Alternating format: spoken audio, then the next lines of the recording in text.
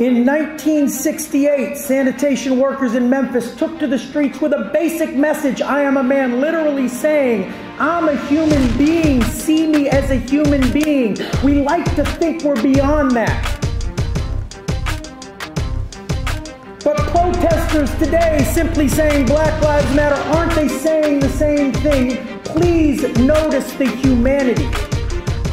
And so, absolutely, we need good judges, we need good prosecutors, we need good police, we need people to make this system less cruel.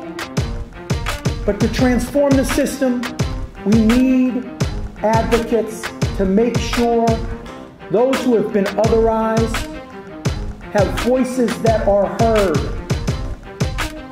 There's an African proverb that says, Until the lion learns to write, the story will always glorify the hunter. Some people in our history have always been preyed upon. They haven't had a voice.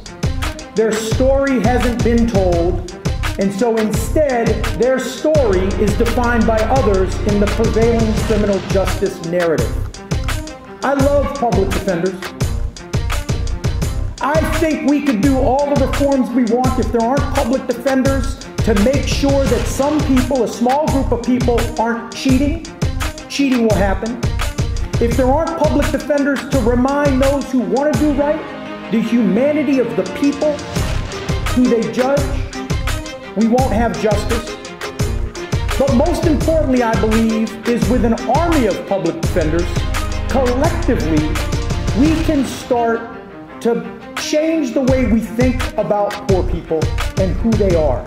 We can take the story of the thief and make it the story of the father who loves one thing in the world more than anything else, and that's his little baby girl who has worked every odd job he could find to make things right, and who, through no fault of his own, had nowhere else to turn but to steal a sandwich. When that narrative changes, we'll be ready to talk about real equal justice. I'm going to end with this. There are people desperately reaching out for help all over America. And I believe there are three kinds of lawyers in this world.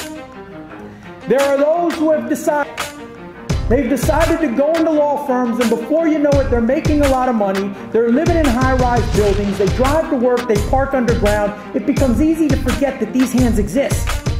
And so you go on blissfully ignorant of the real injustice in the world. There's a second group, and those are folks who have come to embrace a narrative that says these hands belong to demons. And they make it their mission to make sure these hands are kept away from us.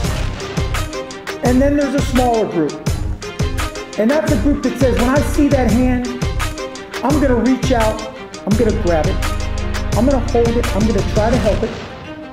I might not succeed, but I know that there's value in that person knowing someone held that hand when they were at their toughest time in life if you do that as a lawyer, you've done more than most lawyers would do in a career. The public defenders in the room, you do that every day. Thank you. But more than that, collectively, collectively, you will hold that hand and remind us as a society that these are people, that we must treat them as people. And if we're in a courtroom as a judge, as a prosecutor, as a defender, and we see someone being treated in a way that we would not tolerate for our own children or our own loved ones, we will not participate. Then we will have equal justice.